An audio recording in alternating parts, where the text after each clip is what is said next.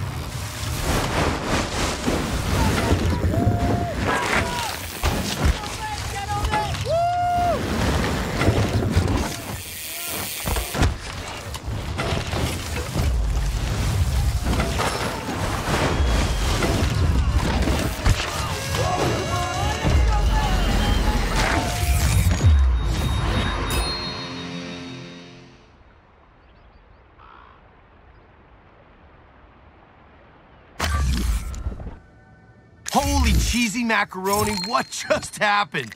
You didn't hold back. You left it all out on the dirt today, man. That was some great riding.